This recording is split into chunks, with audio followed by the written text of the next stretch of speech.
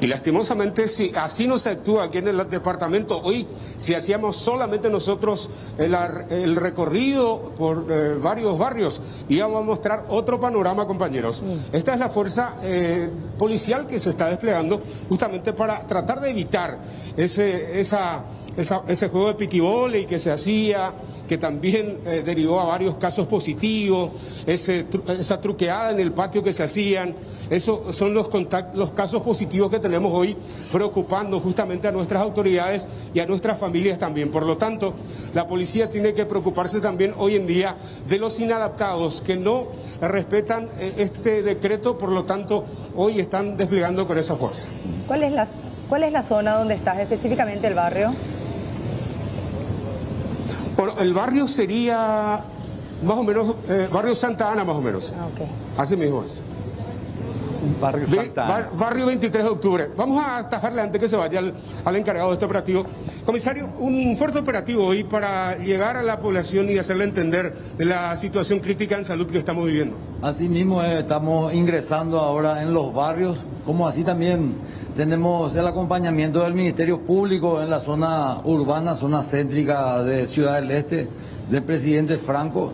Y como ya está viendo una gran dotación, estamos ingresando por los barrios, concienciando a la persona el uso del tapaboca, permanecer en su domicilio, a no salir más en la vía pública sin necesidad alguna, como así también controlar el expendio de bebidas alcohólicas eh, a partir de las 17 hasta las 23 horas lo que corresponde es simplemente delivery de todo lo que concierne a productos de alimentos. Personas sospechosas también son verificadas en este procedimiento. Así mismo, todas las personas que ya transitan fuera del horario establecido están siendo eh, eh, viendo si sus antecedentes están en forma por el sistema informático de la policía, si no posee antecedente alguno y si tiene orden de captura ya son derivados para el procedimiento de rigor. Muchas gracias, comisario. Le vamos a liberar porque está liderando este grupo también él. Por lo tanto, en motocicleta haciendo el recorrido por diferentes barrios. Cuatro a cinco barrios ya hemos visitado con esta comitiva durante eh, esta parte, compañeros.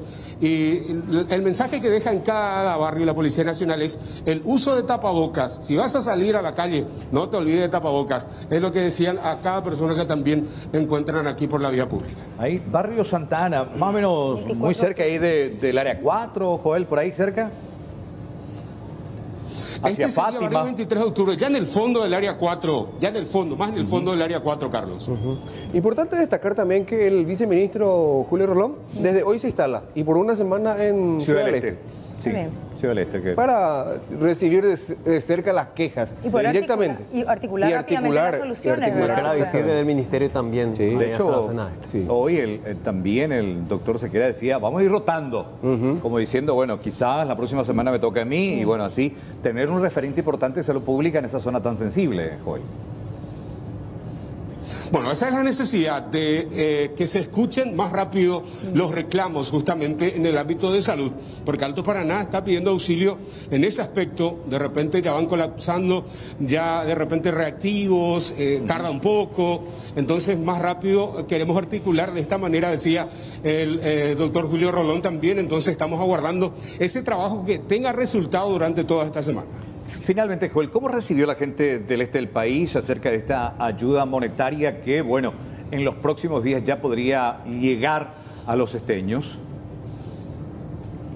Bueno, el tema del RUT para poder cobrar es la complicación y ya vamos recibiendo varios reclamos eh, también por parte de la ciudadanía porque eh, sabemos que el que trabaja en la vía pública de repente no tiene o, el, el, perjudicado, el vendedor de medias en la vía pública no tiene, no va a poder adquirir o no va a poder recibir esa importante ayuda. Esas son las preguntas que ya van llegando también a nuestro medio y que en el transcurrir de los días vamos a ir evacuando y también dilucidando algunas dudas que tienen los ciudadanos. La principal pregunta es, yo tengo que tener RUT para poder cobrar. Ya nos hacen la pregunta también nuestros televidentes. Es para recibir el tercer y cuarto pago, indefectiblemente se tendrán que registrar ante tributación y se pretende formalizar al menos 400 mil trabajadores informales, no solamente de Ciudad del Este, sino de toda la zona fronteriza. Cuenta por pistas. Sí, cuenta por pistas, es categoría. Tercer y cuarto pago. Claro, los primeros dos pagos los pueden realizar desde su teléfono celular, número de cédula y ya reciben. Pero si quieren seguir recibiendo los pagos, sí tienen que formalizarse.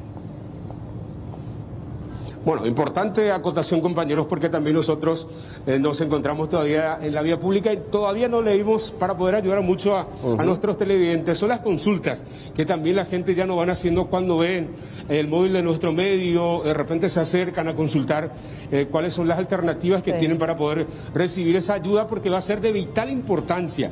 Eh, la situación económica en el este del país está en un estado también bastante calamitoso y el ciudadano está pidiendo auxilio. Bueno, Joel, muchas gracias por esta información. Estamos atentos a todo lo que ocurra ahí en la zona de Alto Paraná.